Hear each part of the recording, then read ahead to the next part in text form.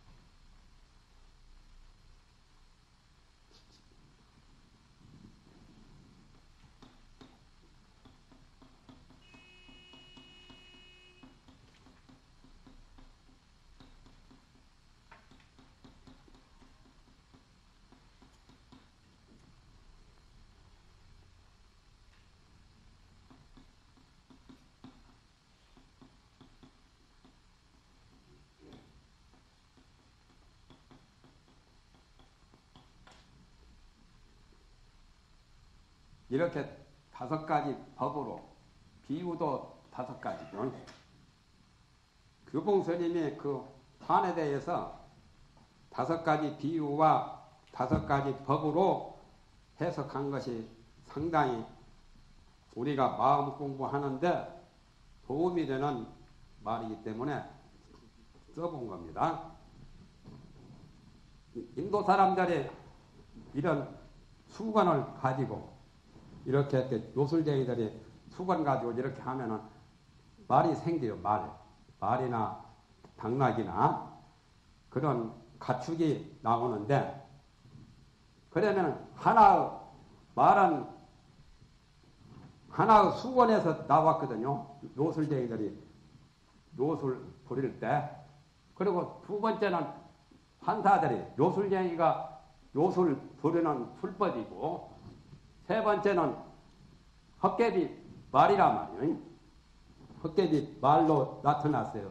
수건을 이렇게 문대는데 거기서 말이 요술, 요술로 생긴 말. 네 번째는 말이 있다가 곧 없어지잖아. 주술을 걷어버리면 말이 본래 있는 것이 아니기 때문에 허무하게 없어져 버리죠. 그런데 어리석은 사람들은 모르고 그게 진짜 말인 줄 착각하거든. 어리석을 진짜 우치한 사람들은 고집에서 말로 얘기해요.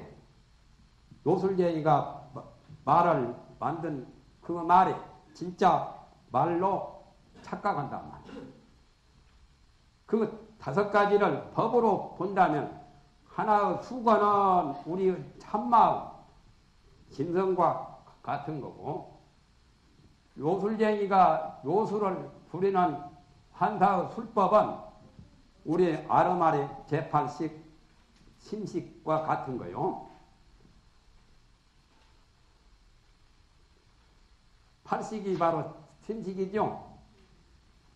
전호식, 제6식, 제7식, 제8식 모두 그런 팔식, 팔식으로 보는 거. 팔식이라고 써버릴까, 그냥. 알기 쉽게. 그 다음에 요술로 만들어진 말은 의타기의 법이다 말이죠. 의타기성이네, 원성실성이네, 변개 소집성이네, 유식 철학에서 세 가지 말이 나오는데 의타기의 법이라는 것은 타에 의해서 타란 말은 인연이요. 타에 의해서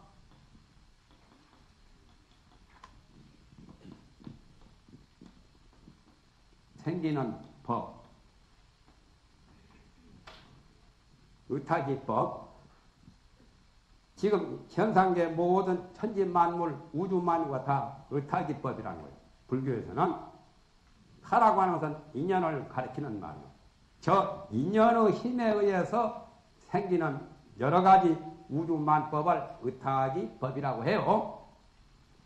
자연의 섭리로 되었거나 전지전능한 조물주가 창조했다는 것을 불교에서는 그렇게 인증을 안 해요. 모든 법이 인연으로부터 생기고 또 인연으로부터 사라지고 모든 것은 인연에 의해서 생긴다는 그러한 법을 의타기법이라고 해요.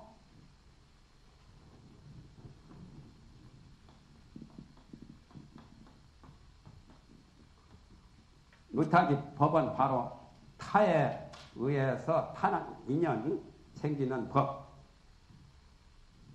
그리고 네 번째, 말이 있다가 곧 사라져서 곧 없는 것은 우리가 보는 아와 법이 곧 공한 거예요. 오원이 개공이요. 아는 자기 주체요. 법은 객체지요. 주관의 세계와 객관의 세계가 있는 것 같지만은 있는 게 아니고 본래 공한 자리, 텅텅 빈 자리. 아공, 법공, 구공, 삼공의 도리에 앞법이 직공이라. 잘 안 보이신가 보지?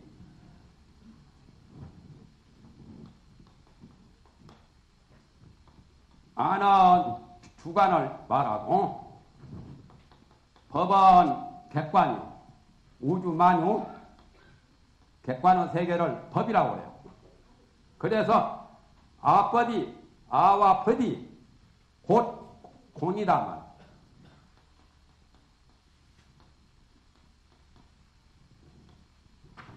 직공이란 말이에요. 있는 것 같이 보이지만은 실제 있는 게 아니고 본래 빈 자리, 텅텅 빈 자리. 요술쟁이가 요술로 어떤 물체를 있는 것처럼 만들었지만은 본래 없는 게거든요.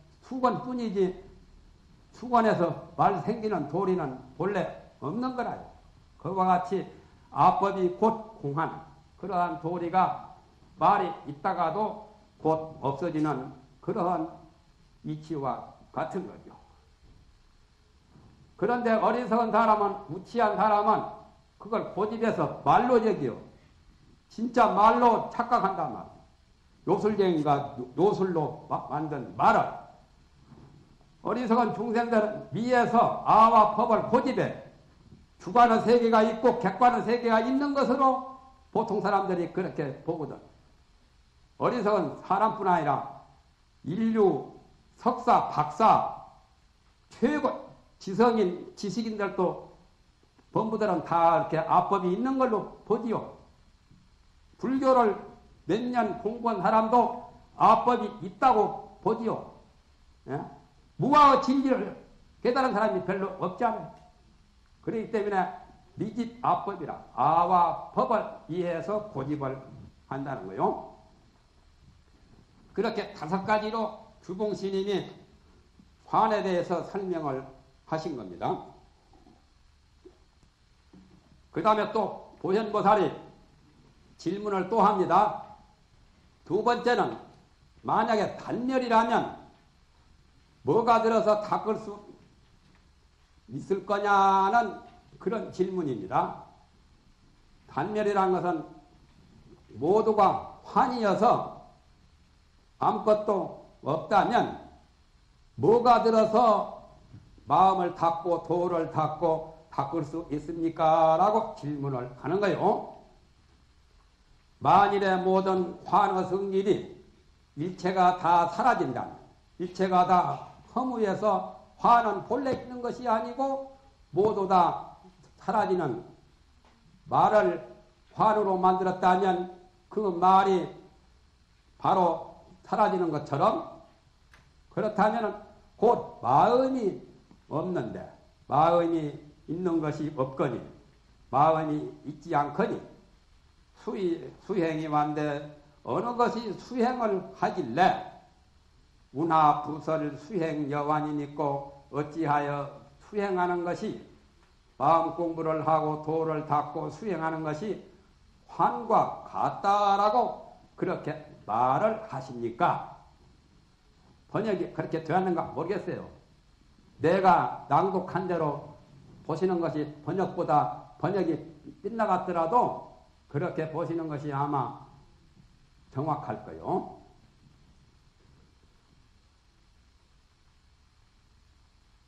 어디 번역을 한번 읽어볼까?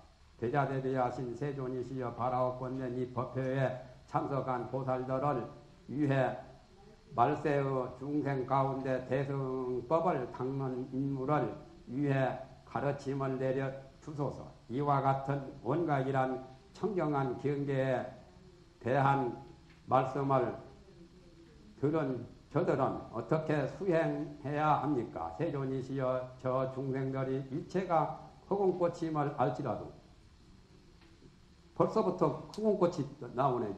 여, 기는안 나오는데 지금.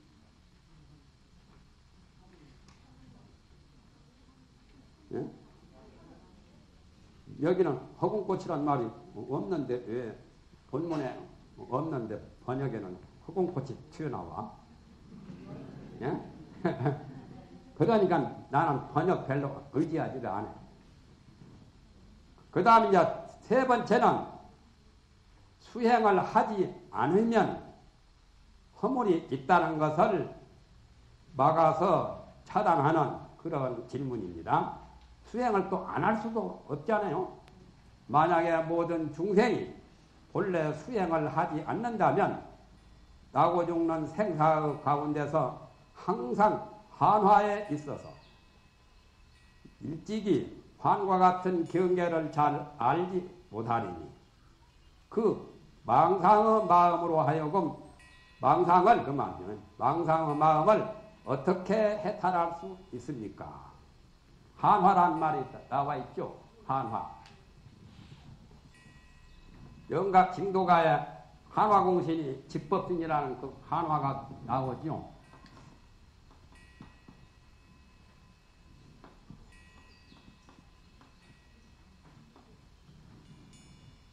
화는 눈홀림이고 눈홀림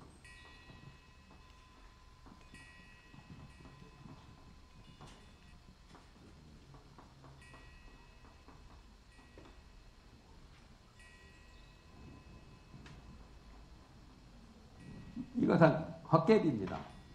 화는 변화로 나타나는 것. 부처님이 중생을 제도할 때 자기 몸 외에 본신 외에 여러 가지 헛개비 그런 몸을 나타내는 경우도 있죠. 그것을 화는 변화로 생기는 헛개비고 화는 눈홀림, 요술쟁이, 허망한 것. 그러니까 한화 두 가지가 허망하다는 뜻입니다. 허망함을 한화라고 해요.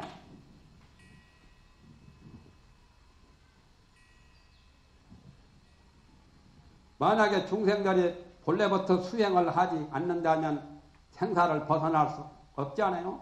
생사 속에서 항상 허대기면서 허망한 그 속에 환화 속에 항상 있어서 환과 같은 경계를 모를 거란 말이에요.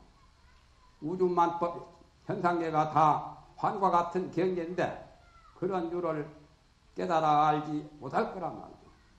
그렇다면 그자에게 어떻게 망상의 마음을 어떻게 해탈할 수 있겠습니까? 라고 닦지 않으면 또 그러한 허물이 있다는 거요. 세 번째는 닦지 않는 허물을 차단하기 위해서 질문한 겁니다. 그 다음에 이제 네 번째 나오죠. 네 번째는 원이 말세 일체 중생 하소서 원하옵노니 말세의 일체 중생을 위하옵소서 말세란 말을 많이 쓰지요. 정법 시대나 상법 시대는 그래도 시대가 좋으니까 괜찮지만 말세야말로 가장 험난한 세상이거든요. 그렇기 때문에 말세 중생은 박복하고 불법에 대한 신앙도 갖기가 힘들고 또 또한 수행하는 자가 극히 어려워요. 그래서 말세 중생을 여러 번 이렇게 말하는 겁니다. 원컨된 말세의 일체 중생을 위하시어서 법을 베풀어 주옵소서 하는 그런 뜻이죠. 작화방편하야 어떤 방편을 지어서 점차로 수습하여 차츰 차츰 도를 닦아 익혀서 모든 중생으로 하여금 모든 환을 영원히 떠나게 하겠습니까? 떠나도록 이렇게 합니까? 라고 질문을 한 겁니다. 거기까지 네 번, 네 가지 방법으로 질문을 했습니다.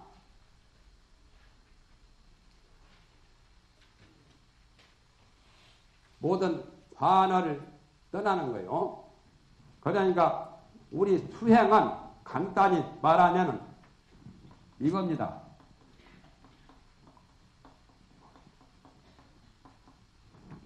두 글자요. 환 떠나면 되는 거예요. 이환이요.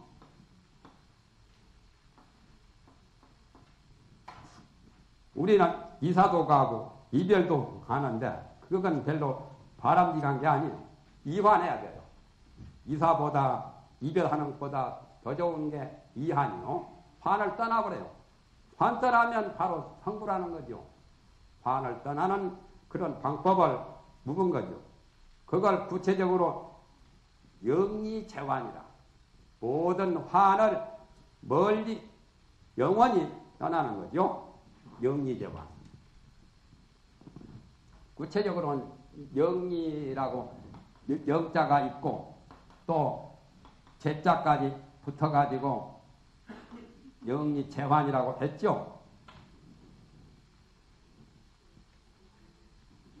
화두를 따로 갖지 않아도 이런 법문을 들으면서 어떻게 하면 이 환을 떠날 수 있을까? 그 문제를 볼돌이 두고 생각하면 그게 공안이 화두요. 부처님은 경전이 화두 아닌 게 없어. 사실은 지금 현상계, 현실세계 모든 사사건 건도 깊이 따지고 보면은 전부 다 화두 아닌 게 없어요. 그렇지 않아요. 조사 1700 공안만 화두가 아니에요. 크게 보면은 모르는 문제는 다 화두라요. 공안이. 모를 게 많지 않아요. 어떻게 사람이 넘어지지 않고 잘 걸어 다니는 거. 이것도 참 묘하잖아요. 응? 어떻게 또 걸어 다니다 또 앉을 수도 있고 쓸 수도 있고 누울 수도 있고 누웠다가 또 벌떡 일어서기도 하고 이것도 참 묘하잖아요. 그런 것도 참 깊이 깊이 사색을 하다 보면 그런 것도 다 조사 공안처럼 공안이 될 수 있고 화두가 될 수 있는 거죠. 묘하죠. 이 세상 모든 진리가. 거기까지 보현보살 질문입니다. 이 말씀을 마치고 이 말 지키를 끝내고 오체를 땅에 던져서 오체 투지하고 예배를 해서 이와 같이 세 번 청하여 마치고 다시 시작을 해요. 한 번만 간청을 하는 게 아니라 적어도 세 번 정도 간청을 하는 지극한 정성을 교하는 거죠. 초반전, 중반전, 중반전까지 해서 결정하는 것처럼 올림픽 것이 할때 초반전, 중반전, 중반전까지 세 번, 3차 하잖아요. 그와 같이 부처님께 법문을 청하는 것도 한 번 하고 또 두 번 하고 또 세 번까지 지극한 정성을 다해서 이렇게 하는 거죠. 법화경에도 보면은 사리불이 세 번 청했고 하은계도 보면은 십지품에 그 해탈월 보살이 금강강 보살에게 세 번 청해서 십지법문을 들으려고 했죠. 원각경에도 낱낱이 꼭 세 번씩 청하는 게 나옵니다. 간절한 정성을 표하는 거예요. 한 번 픽 하고는 대답 안 하면은 에라 픽 하고 삐쳐가지고 외면할 버리면 안 되는 거죠. 진지하게 물고 늘어져야 돼요. 그 문제를 끝까지 사무쳐 하려고 하는 그 정성이 있어야 됩니다. 그래서 그때 세존께서 보전보살을 보전보살에게 일러 말씀하시기를 선제 선제라 참 잘 질문했다. 잘했다. 질문을 잘했다. 선남자여 착한 남자여 그대 등이 이해능의 여러 보살과 민발세 중생을 위하여 보살은 여환 삼매 환과 같은 삼매요. 모든 게 환 아닌 것이 없으니까 지금 현실 세계 모두가 다 환과 같은 그러한 삼매요. 방편 점차 점차로 수행하는 그 방법 그것을 닦아 익혀서 모든 중생으로 하여금 모든 환을 떠나도록 하니 떠남을 얻게 하니 그대는 지금 자세히 들어라 마땅히 그대를 위해서 연설하겠다.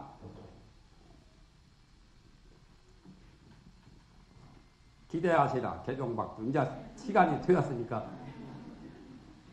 그때 보현보살이 가르침을 받들어서 기뻐하여 모든 대중과 더불어 침묵하고 무연히 잠자코 이 설법을 듣고 계셨다면 침묵이라는 것을 무견이라고 하죠. 조용히 말없이 듣고 계셨다. 질문할 때만 말씀을 하고 들을 때는 고요하게 마음을 가다듬고 침묵을 하고 들으셨다. 시간 다 돼서 조금 쉬었다.